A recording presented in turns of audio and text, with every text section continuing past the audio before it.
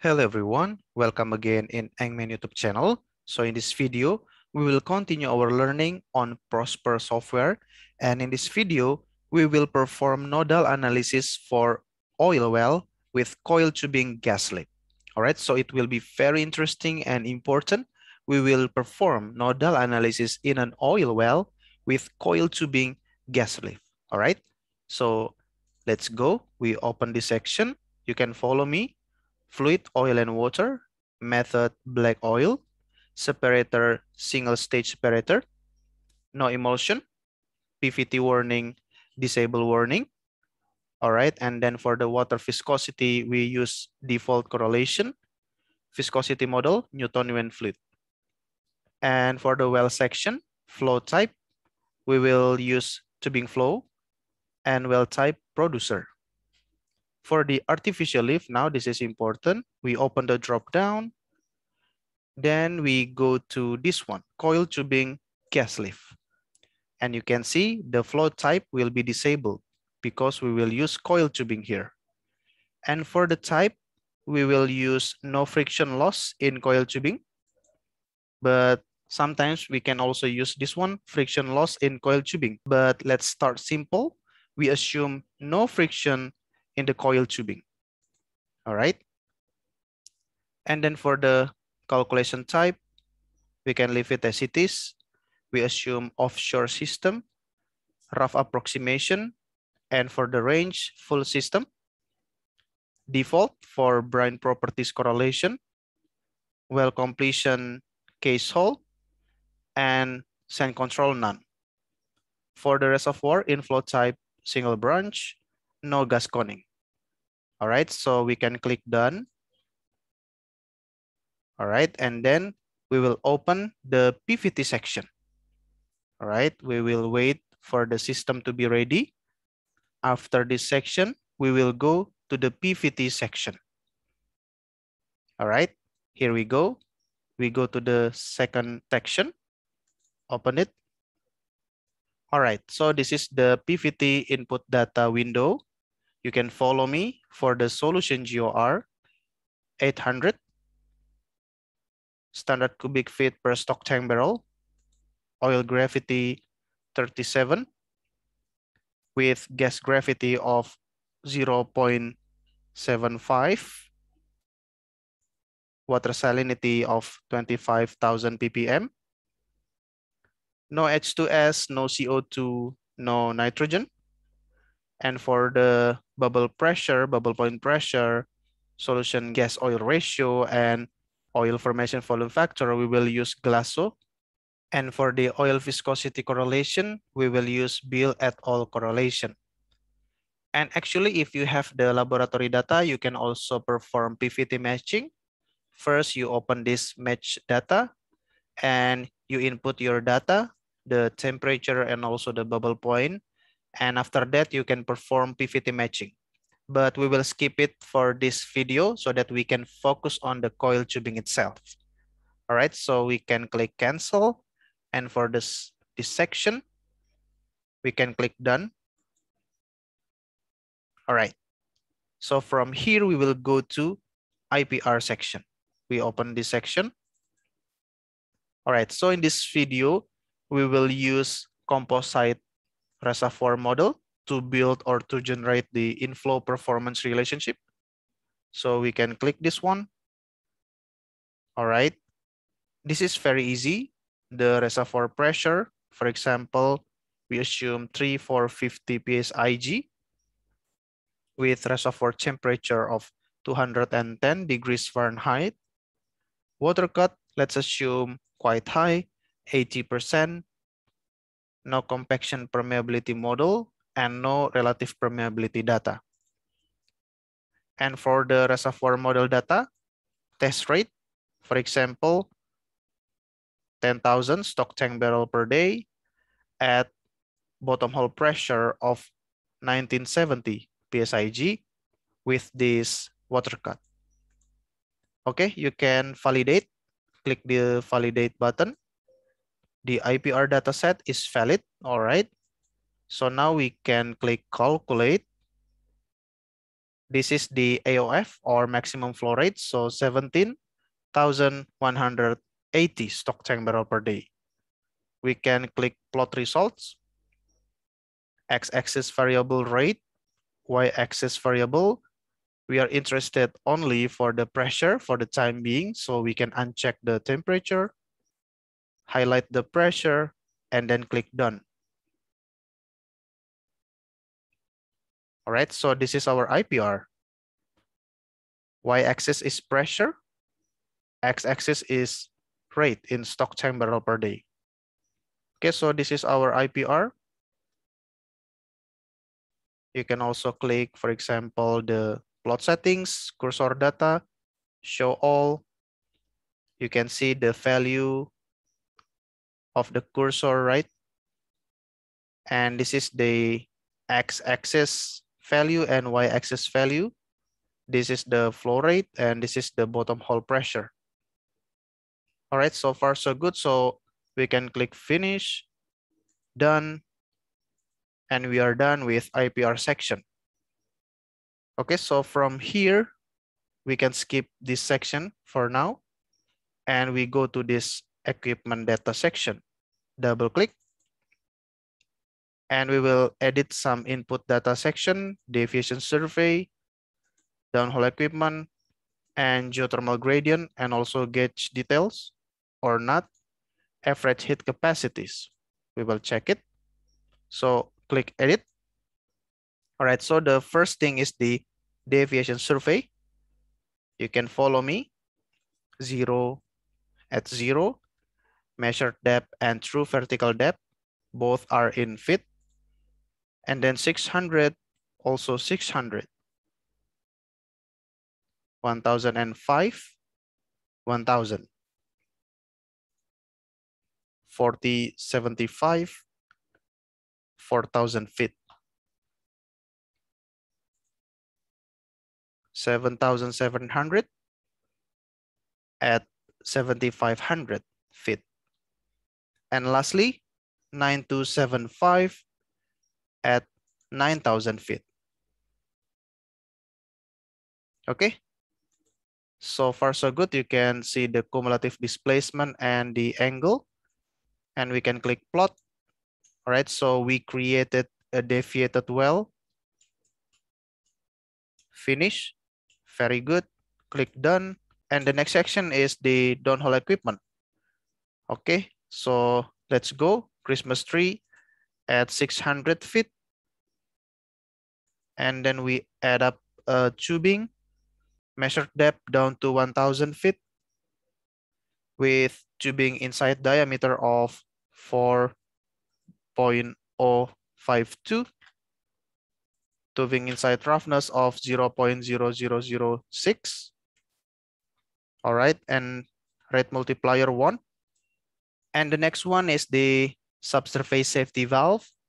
So open the drop down SSSV with tubing inside diameter of 3.72, rate multiplier one.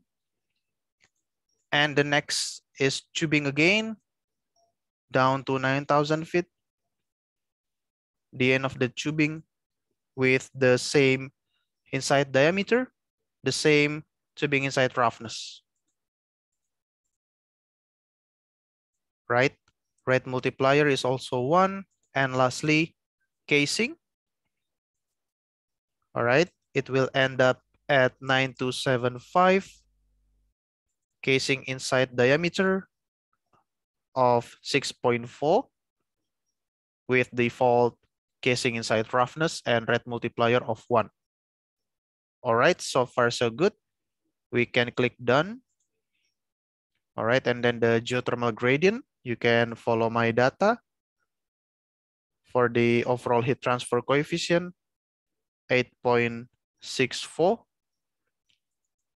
And then for the temperature, formation measured depth, and the temperature, formation temperature, zero X at 60 degrees Fahrenheit. At Christmas tree depth, the temperature is 40. And for the reservoir depth, 9275. the formation temperature is 210. And you can check the gradient by clicking the plot button. All right. Finish. Done. Lastly, just to check average heat capacities for oil, gas, and water, we can use the default values. All right, so far so good. We can click done and check summary. This is the table. And you can also click draw down hole to check the well sketch, Christmas tree, casing, SSSV, casing, and lastly, the casing also. Actually, this is tubing section. Safety valve and also tubing. Okay, we can click done, done, done. And we wait for the system to be ready. Yeah, you can see the well sketch here. All right. And then from here, we can go to this section, coil tubing section. First, we need to input the information for gas lift gas data. Let's say gas lift gas gravity of 0.7. All right, and then no H2S, no CO2, no nitrogen. We can leave it as it is first for the GLR injected. And then for the coil tubing data, coil tubing inside diameter, for example, 0.8 inches coil tubing roughness or coil tubing thickness, I mean 0.2. With coil tubing inside roughness as well as the outside roughness, we can leave it as per default. Okay, we can leave the coil tubing specified tab as it is for now. From here, we can click done. All right, and from here, we can go to design section, go to coil tubing gas lift section. All right. All right, so this is the coil tubing gas lift design window. We need to input the input parameters and you can follow me. First is the maximum gas available. So we assume we only have 5 million standard cubic feet per day. And also for the maximum gas during unloading, the same, 5. All right. And for the flowing top node pressure or the wellhead pressure, 250 PSIG, for example. And at unloading, the top node pressure or the wellhead pressure, we assume the same. All right, so unloading means the unloading operation or after the rig job, right? After the completion or after the workover, there will be completion fluid, killing fluid, and we need to unload that all right? Whereas for the flowing top node pressure, it means continuous production or continuous operation, okay? So for the operating injection pressure, we assume 2200 PSIG. Also for the kick-off injection pressure at unloading process, the same we assume 2200.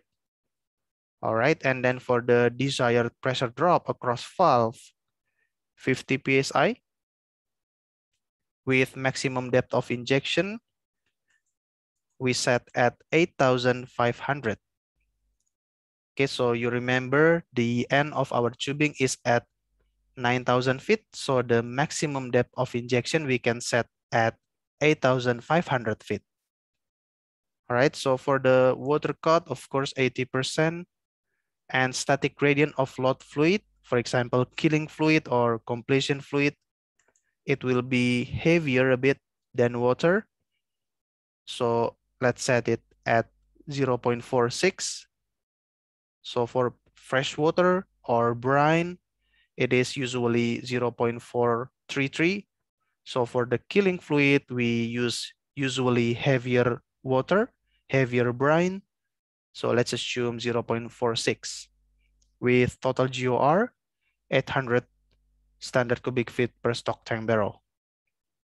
Okay, so far so good for the options. Design rate method, let's set it at calculated from max production with maximum liquid rate, for example, 25,000. Or maybe as per the IPR, let's set it at 17,000 stock tank barrel per day. All right, and then for the check rate conformance with IPR, of course, use IPR for unloading, yes. Orifice sizing on calculated pressure drop at orifice, usually we prefer that. The other is the minimum pressure drop across orifice. So I prefer calculated pressure drop at orifice. And for the vertical lift correlation, we use petroleum experts correlation. So you can leave it as per default. And also for the surface pipe correlation, we can leave it as it is. All right, so far so good. We go to continue. All right, we need to be careful here. So we need to click this one, this button, get right. Okay, so wow, interesting, right? So we can check. This is the GLR injected, standard cubic feet per stock tank barrel. All right, this is the GLR. This is the liquid rate, 8,297. All right, with the oil rate, assuming 80% of water cut. This is the VLP pressure and IPR pressure. This is the standard deviation, design rate, all right, 5 million standard cubic feet per day. We assume maximum gas available.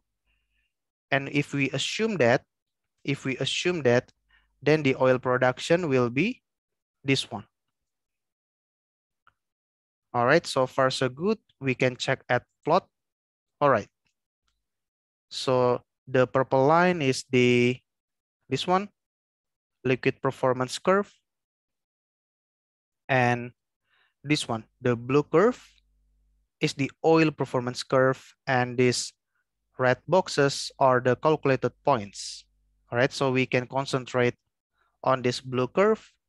So you can see as we increase the gas injection rate, the fluid produced or the oil produced tends to increase. But actually only from zero to about two or three million standard cubic feet per day, but after 4 mm SCF per day, the increase is not significant. It is quite negligible, right? Okay, so if we are talking about optimum gas injection rate, maybe 3 is the answer. All right, so maybe 3 million standard cubic feet per day is the optimum gas lift injection rate. Okay, we can maximize, right? You can see as we increase the gas lift injection rate, the oil production tends to increase, of course. But this one, this number maybe 4 million standard cubic feet per day is the optimum gas lift injection rate. And you can see above 8.5, the oil production tends to decrease as we increase the gas lift injection rate. Okay, so far so good. We click done. All right, so from here, we can click design. Click. All right, very easy, right? So we can check, this is the measured depth true vertical depth. This is the pressure. At this depth, the temperature and gas injection pressure. We can check the plot. We prefer TVD true vertical depth. X-axis include pressure and temperature. We click done. All right, beautiful. So this is our design picture. TVD true vertical depth versus pressure in x-axis. And you can see, you can look up temperature also in x-axis. All right, so for the blue line is the pressure. This green line is temperature. The orange line is the unloading gradient, whereas the red line is the operating gas gradient, the gas lift gas gradient, right? And this blue line, all right, this gentle blue line is the maximum operating depth. So you can see this is our design picture actually. And kickoff injection depth, the purple line, all right, which overlies the maximum operating depth. All right, beautiful. So we can click done. All right, and we can check the results. Design liquid rate, 77,704 stock tank barrel per day. And the design oil rate, 1540 stock tank barrel per day. Assuming we use 5 million standard cubic feet per day gas lift injection rate. This is the actual injected gas rate, 4.8. All right.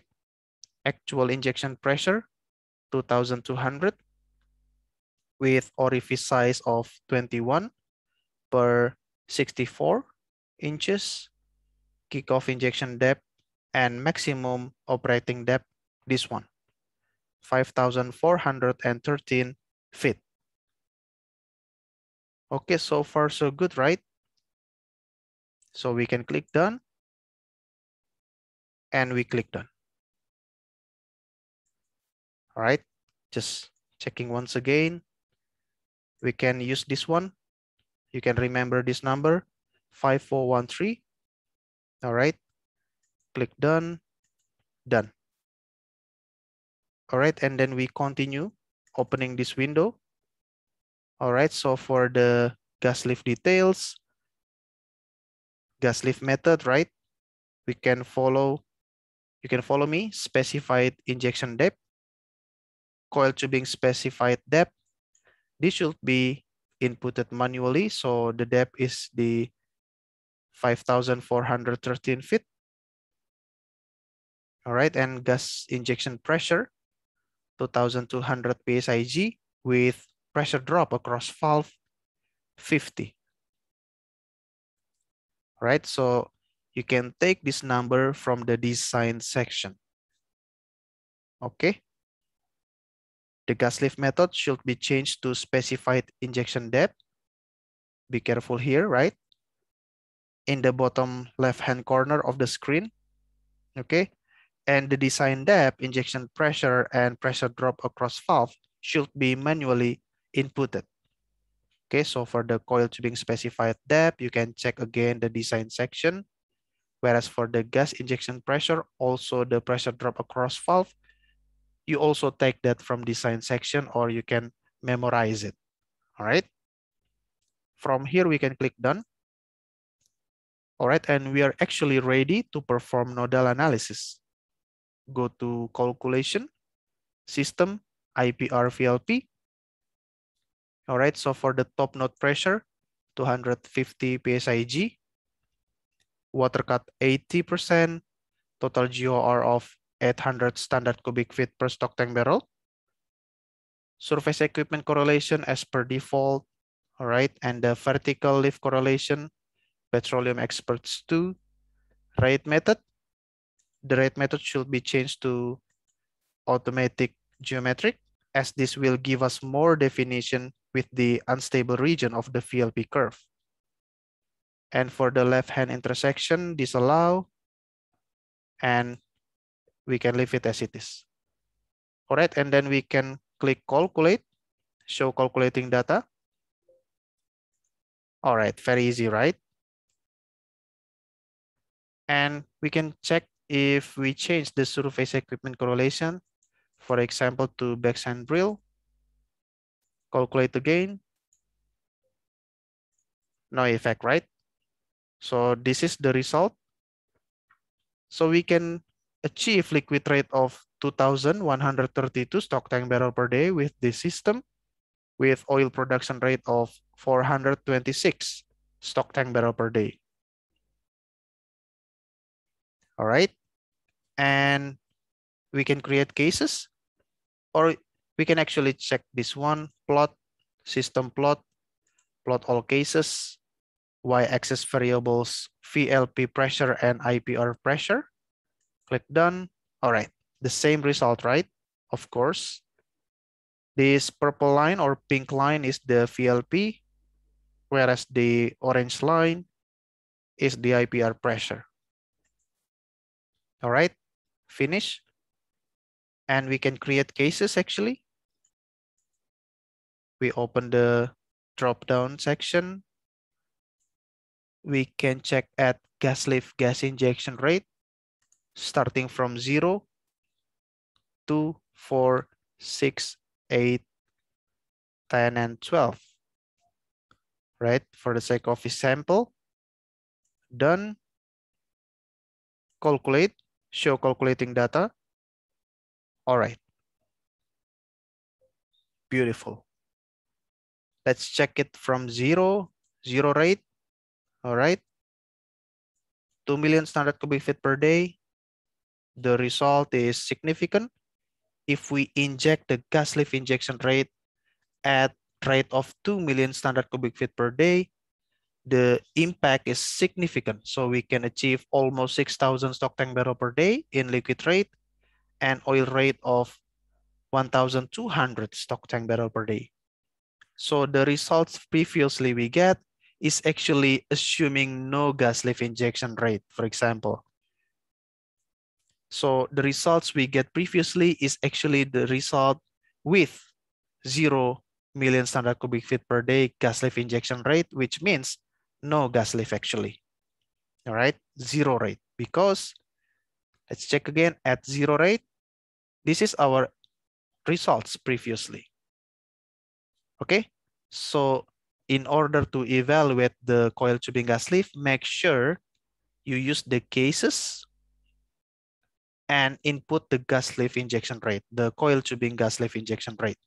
In our case, we use 2, 4, 6, 8, 10, and 12. But actually, we will use 5 as per recommendation, almost 5 million standard cubic feet per day. So let's do it again.